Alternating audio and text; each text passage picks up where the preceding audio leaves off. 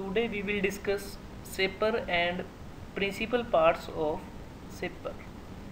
Shaper also called shaping machine. It is a reciprocating type of machine tool in which the ram moves the cutting tool backward and forward in a straight line to generate the flat surface. The flat surface may be horizontal, inclined or vertical. So principal parts of shaper now we will discuss. First one is base. It is a heavy and robust cast iron body which acts as a support for all other parts of the machine which are mounted over it.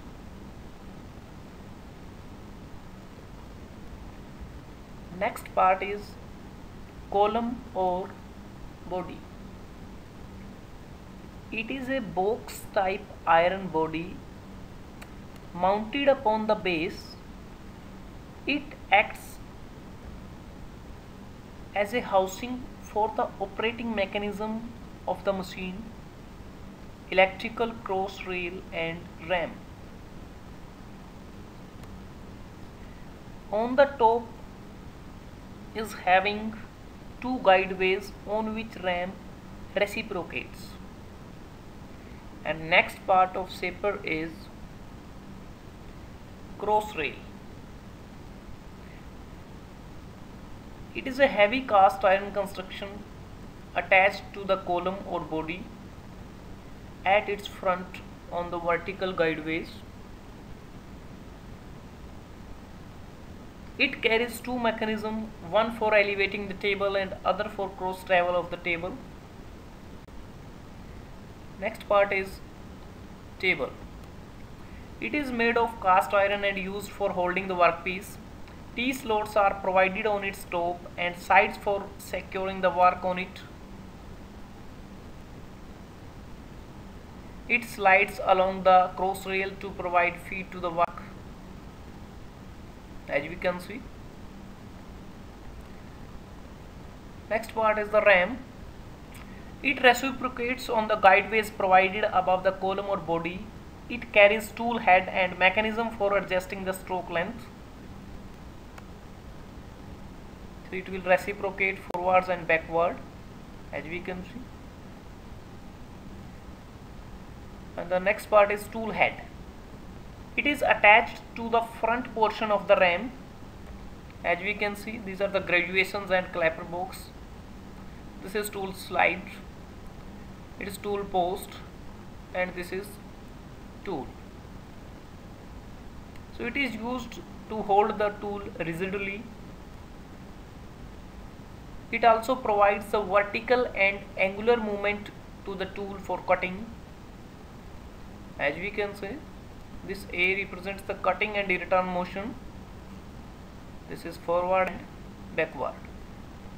And B that indicate the feed motion.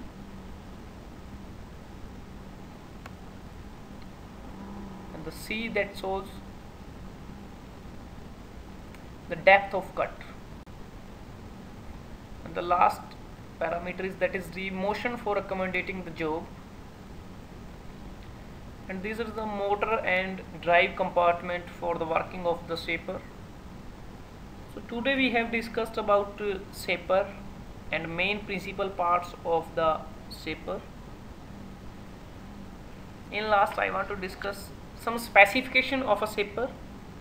The shaper is generally specified as on the basis of maximum length of stroke maximum horizontal travel of table maximum vertical travel of table size of the table that means length width and depth of the table maximum vertical travel of tool slide power of drive motor in horsepower and maximum number of strokes per minute and type of quick return mechanism floor space required and weight. So these are the specifications on which shaper is specified